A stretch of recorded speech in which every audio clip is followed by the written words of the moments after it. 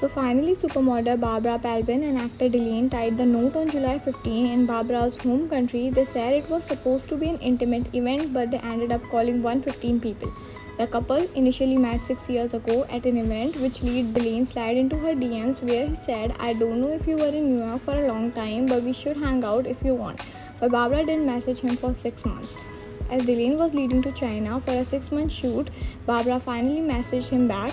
The model ultimately ended up flying to China to meet him for the first date, she said on People's Now. They finally began dating in June 2018. They made their relationship Instagram official when Barbara posted a photo with Dylan for his birthday in 2018. Later that year, Dylan was seen supporting his girlfriend at July 2018 Victoria's Secret fashion show. Barbara and Dylan took their relationship to the next level when they moved in together in New York in January 2019. Fast forward seven years after they first started dating, the couple ended up getting engaged in September last year, which they revealed last month during the interview with V magazine conducted by Dylan's twin brother. They also shared that their wedding will take place in Barbara's home country where Barbara was born and raised. Barbara also said, I'm excited to show that side of me and introduce my culture, my place I grew up, and the place I went to. I feel like a lot of people will learn even more about me this way.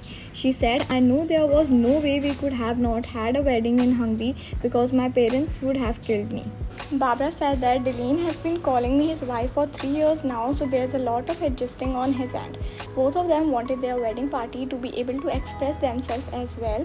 For her wedding outfit, she wanted to wear something timeless and classy, so for the ceremony, she chose a custom strapless dress from British Fashion Week.